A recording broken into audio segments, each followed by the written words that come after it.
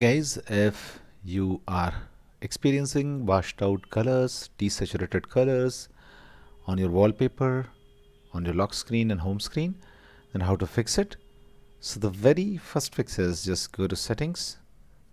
And when you go to settings you'll go to settings home page like this. Now scroll down and find wallpaper option. Tap on it.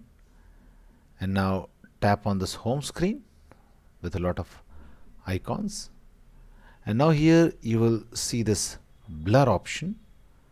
Tap on blur and then unblur it. Okay?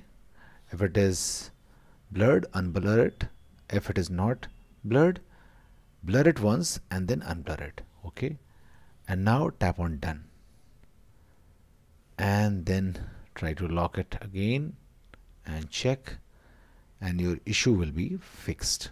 Okay so this is the first fix. The second fix is try to forcefully restart your iPhone.